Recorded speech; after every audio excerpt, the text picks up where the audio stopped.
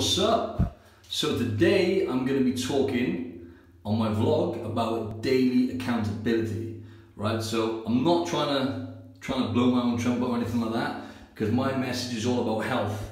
Now the result of this this physique, um, I tend to maintain this kind of physique all year round, stay pretty lean, and the main reason for that is daily accountability and knowing what I'm doing when it comes to nutrition and training. But the most important thing is, one more little flex whilst we're here.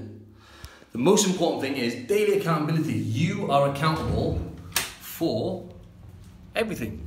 Everything in life which unfolds, you're accountable. So if you wake up in the morning with the girl of your dreams, lovely house, beautiful car, that's your fault.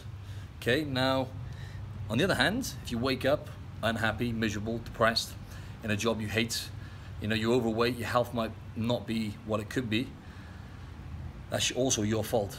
So where I'm going with this is daily account, you're accountable.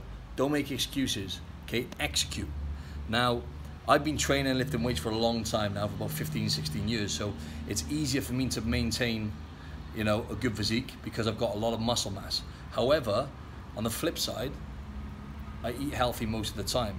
Now, my message to you guys is focus on the fundamentals, okay? Get a good weightlifting regime. My program's coming out next week. But lift weights properly, okay? Get a coach, do what you gotta do. Lift weights with good technique, okay? Try to eat whole foods most of the time. Start off with having, say, two servings of veg every day, okay? Forget about all the rest of the food you're eating. Two servings of veg every day and drinking consistently two to three liters of water a day, okay? And then on top of that, try and walk, let's say, 10,000 steps, 10 to 15,000 steps a day. That's about an hour of walking in total every day. Okay, now those four things, lifting weights, eat two servings of veg a day, drink more water, okay, and move more. Do those things consistently and watch what happens when it comes to getting leaner. It's all your fault. No excuses. Get it done and let me know how you go. Peace.